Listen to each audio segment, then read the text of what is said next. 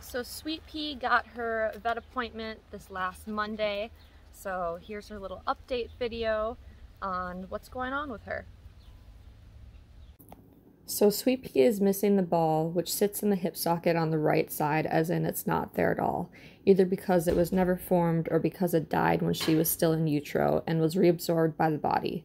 To be determined on whether this causes problems with her hips or spine as she grows. Currently, her femur is sitting on top of her hip.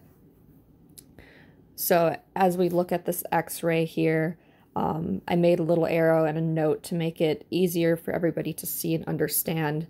So, you see where I put the arrow, and um, you can clearly see there's that black circle. That's that's the ball and on the other side there is no ball. So that is the side where she is having the problems where um, it just sits directly on the femur. So and now we are going to just go over to a video and just show you how she walks and how it looks right now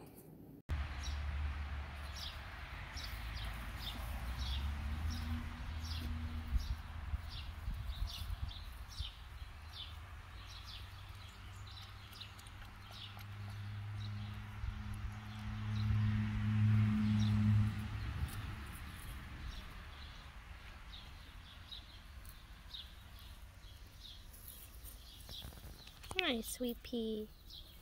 Hi. Yeah. You're such a good girl, huh?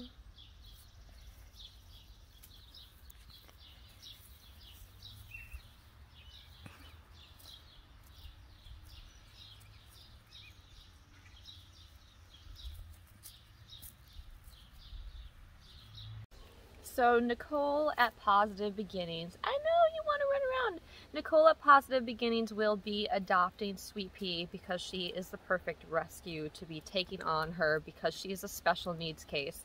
Nicole has taken in a lot of our fur farm rescue foxes who have, hi Shadow, who have um, a lot of different special needs and her vet is able to handle those and she already contacted her vet about Sweet Pea and sent her the x-rays and she is able to um, tend to Sweet Pea and whatever problems may occur with her throughout her life. So Sweet Pea's new name will be Coral. If you guys remember, um, previously Teddy was adopted this year by Pawsitive Beginnings and his name is now Reef.